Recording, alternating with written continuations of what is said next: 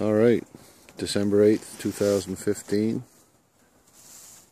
Nice warm day, lots of heat on this colony. You can see the wax paper I've got over the old piece of fondant. Put here probably early October.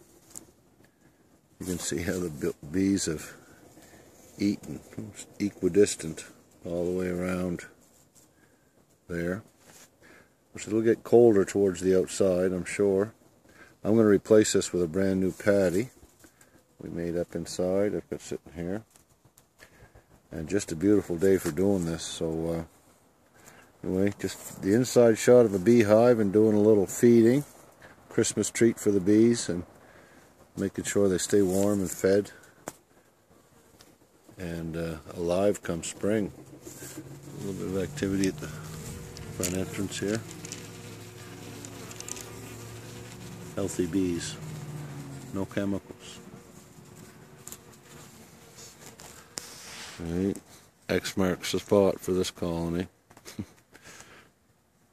bees like straight lines, symbols. That's their uh, message to where their home is. All right, Caribou Apiary, December 8, 2015. Thanks for watching. Bye.